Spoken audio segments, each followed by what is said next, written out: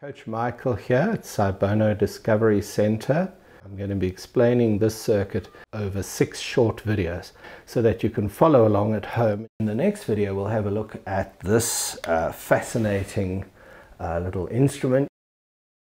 These are rows and these are columns. If you look at this clear breadboard you'll see that these things run acrosswise. We're going to start off by placing these transistors. I'm going to put up the diagram so you can see what I would call a suggested layout. So you don't have to follow the layout exactly.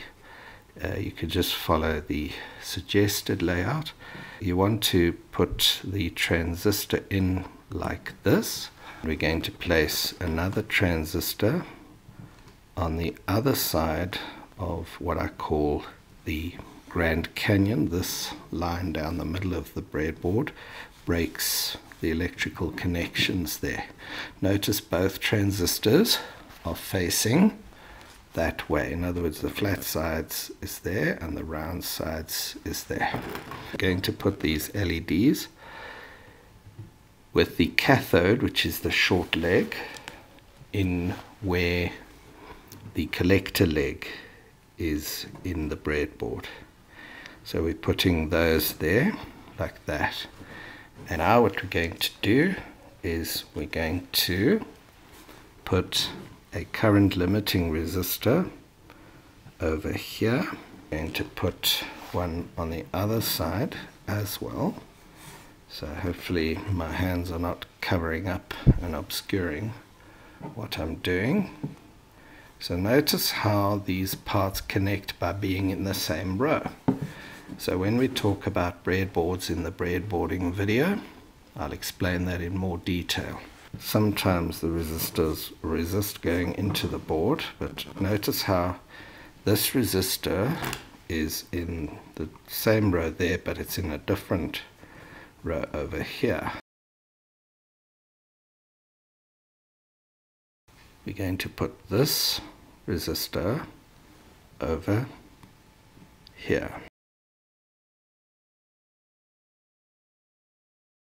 This capacitor forms part of a RC network, a resistance capacitance network. We're going to put this capacitor into the circuit. There's the minus leg, there's the plus leg. If you look at the schematic diagram, what you'll notice is that this capacitor works with this resistor over there to form the RC network. The positive side of the capacitor goes to the collector. And so we can place it over there. And the negative side of the capacitor goes to the resistor the high value resistor over there.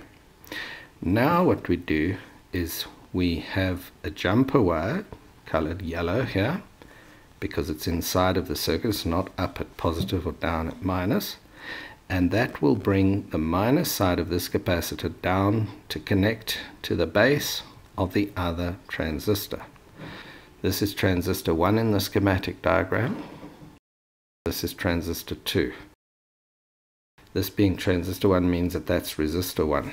So now we bring the resistor 1 down to the base of the opposite transistor there and we've got the same effect where we've got these two wires that cross over.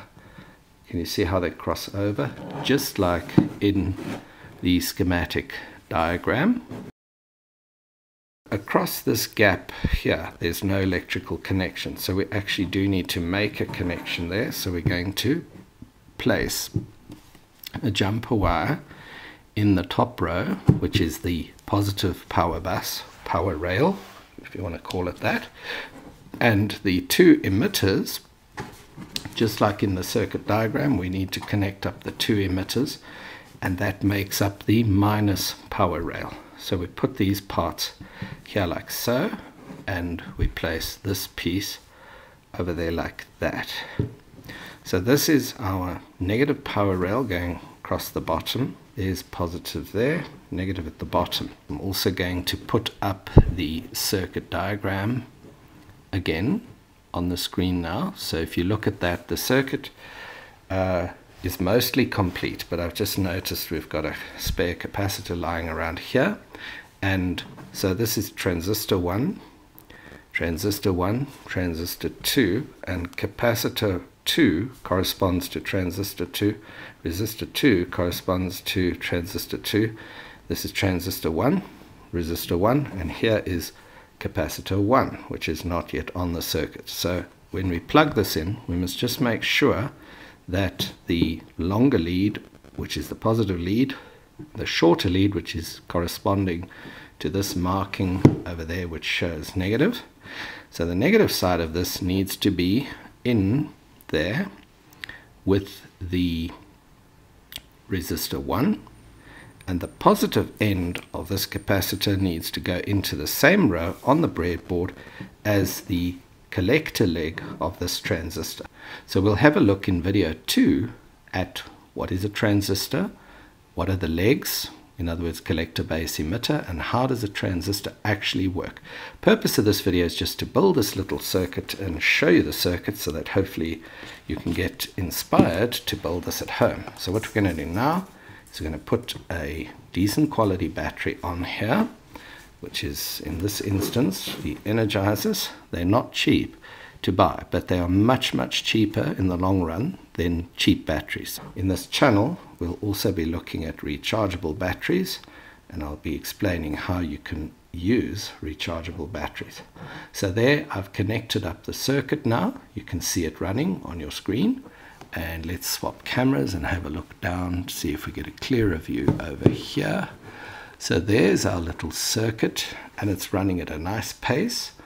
Um, so thank you very much for watching this video and I hope that you'll subscribe and stay with for this little journey so that you can learn how the circuit actually works. Something that's going to be quite surprising for you if you're interested in electronics is that we end up with a negative voltage right in the middle of the circuit and it's a weird sort of phenomenon but it's rather fascinating, so I'd love to share with you how that happens.